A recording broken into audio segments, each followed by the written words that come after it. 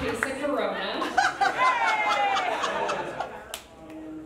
no, the cool thing though about getting sober is actually that you learn a lot about yourself. For instance, I learned that my favorite form of birth control is actually the pull-out method. and then I pulled out of heterosexuality and started dating women.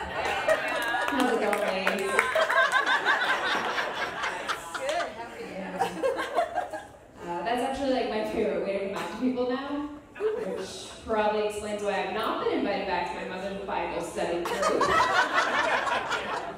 but they are praying for me, so I'm gonna take that as a win. Um, I had five guys in college, and I knew I was gay because I thought about Wendy's the entire time. Yeah, that's actually my favorite way to come out to people in the South. I like you. Yeah, people in the South, they just love a good fast food restaurant. I can appreciate that. Yeah. So you know what actually really annoys me? When people use their religion as an excuse to not bake a cake for a gay wedding. Not the normal reaction I get to that. Good to be out of Massachusetts. But, um,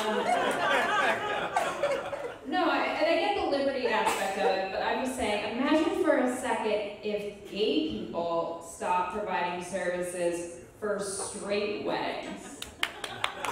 No hair. There you go. Pretty bleak. I mean, say goodbye to your gay wedding planner, your gay hairstylist, and the lesbian you hired to watch your dog during the ceremony.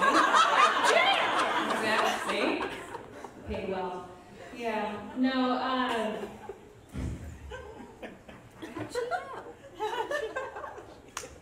Get ready for everyone to say meh to your dress. As you walk down that aisle, sporting that like TLC reality show soccer mom haircut.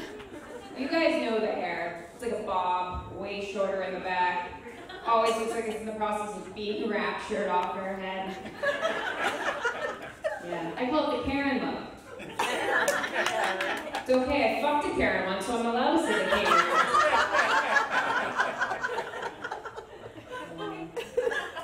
Believe it or not, I actually became a devout Catholic for my first real like high school boyfriend because I needed an excuse to not have sex with him.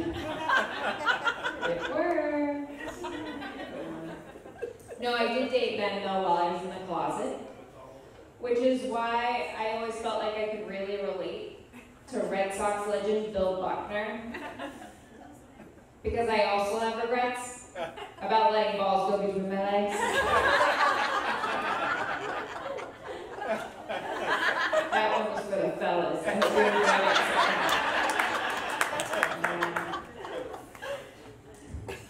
it. No, now, although I may regret having had sex with I do want you to know that I still really appreciate them as people. Thank you, sir. In fact, I know that I'm considered to be the uh, man in my lesbian relationship because I'm always fucking wrong.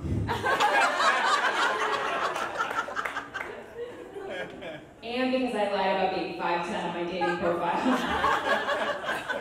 Don't judge me on that. You have no idea how hard it is to be a 5'11 left-handed lesbian.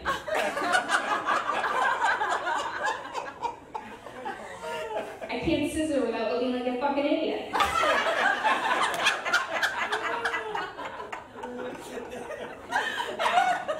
I love it when I tell that joke because the audience gives away what kind of porn they're into.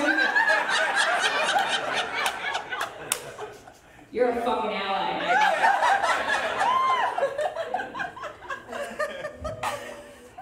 You guys cool crowd, so I'll leave you with this. I got an argument with a gun nut the other day. He called me, me, a delusional, crazy, psychotic bitch. I said, you might be right, sir. But you're the one arguing for a delusional, crazy, psychotic bitch to own a fucking gun.